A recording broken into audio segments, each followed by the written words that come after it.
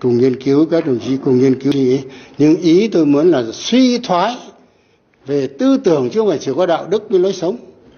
Cái tư tưởng mới, mới, mới nguy hiểm. Nó sẽ lái chúng ta đi con đường khác. Tôi đề nghị là nếu ta làm được cái này đấy thì mới là cái quan trọng hơn cả cái tham nhũng tiền bạc. Tiền bạc còn có thể thu lại được.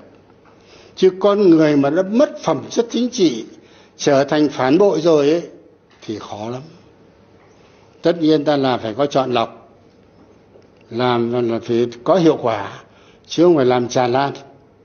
Nếu các đồng chí đồng ý cho tinh thần này ấy, thì cái tâm của ban chỉ đạo này nó mới cao như thế đấy